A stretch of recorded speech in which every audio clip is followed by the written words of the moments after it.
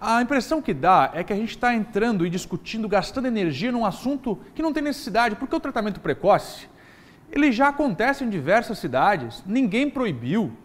O médico tem autonomia em Santa Catarina, boa parte da população que contraiu o coronavírus teve a opção de escolher, isso não está proibido. Não é essa a discussão. O que não pode acontecer é esta ser a única alternativa defendida para controlar a pandemia. Exatamente isso. E o, pior, e o pior, concordo plenamente, subscrevo com o relator. E outro detalhe, ontem batemos todos os recordes, de recordes.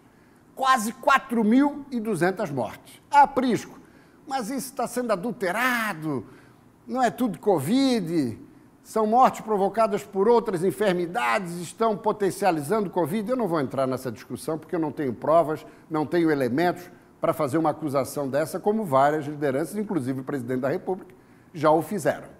Não vou entrar nessa questão. Mas no momento desse, o presidente não estava se esperando que viesse aqui e para declarar que ia decretar lockdown. Ninguém quer. Nacional, que não vai botar as Forças Armadas para manter as pessoas em casa. Ninguém está pedindo isso. Se tem algum político de esquerda, seja de centro ou partidário, que quer desestabilizar o governo, não vou entrar nessa questão. Mas daí, na, na medida que o presidente vem com esse discurso, ele politiza o processo. E a sociedade não merece isso. É. A sociedade merece é responsabilidade e ação eficiente. E tira o crédito de outras medidas, como, claro, por exemplo, a vacinação. Claro. Essa que é a verdade. Tira e aí que vem a proteção. Exato. Quem tem colocado muito isso, Fernando, e você me faz lembrar, é o ministro Paulo Guedes, preocupado com a economia. Sim, porque a economia tem que voltar a rodar para gerar emprego, renda, recursos. Por quê? segmentos consideráveis da população brasileira estão empobrecendo. Tem gente passando fome, que não tem o que levar de comida para os filhos em casa, porque é desempregado. Agora, o que, que ele vem colocando? Fundamental o quê? Investimento em vacina, trazer vacina. E aí foi o erro crucial do governo federal. Falando em gripezinha, que isso, que não ia evoluir nada, perderam o time na contratação de vacinas, de lotes importantes.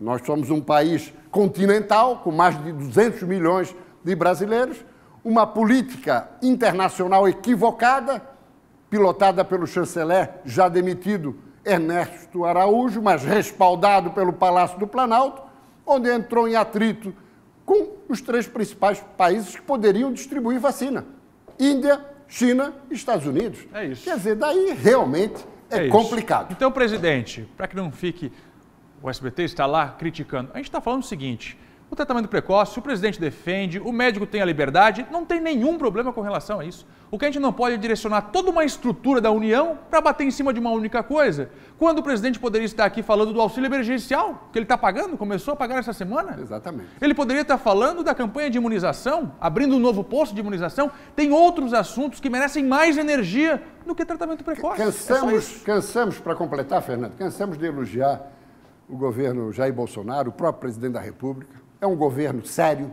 Não tivemos um, um único episódio de corrupção nesses quase dois anos e meio. Aplausos, parabéns. Muito embora isso seja obrigação, mas não vinha ocorrendo. Especialmente no salafrário governo do PT nos últimos 14 anos. Então está de parabéns o presidente, mas tem que agir com responsabilidade, com altivez, com grandeza, sabendo que está incorporado na função maior de presidente da República. Essa que é a realidade.